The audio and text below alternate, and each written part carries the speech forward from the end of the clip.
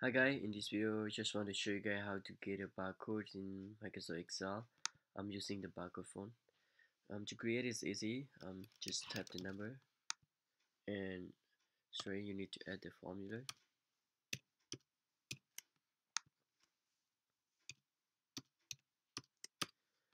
Right. In order the barcode fonts work with the barcode scanner, you need to add the asterisk on both sides of the number.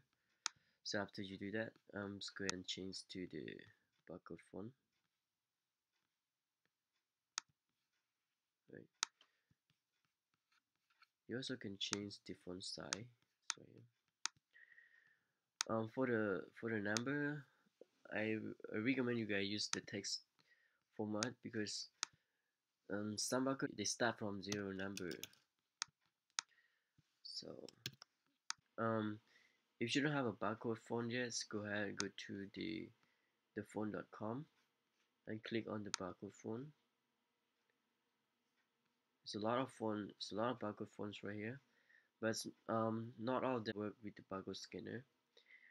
The one I use is uh, the ID automation, and the other one is the C code 39.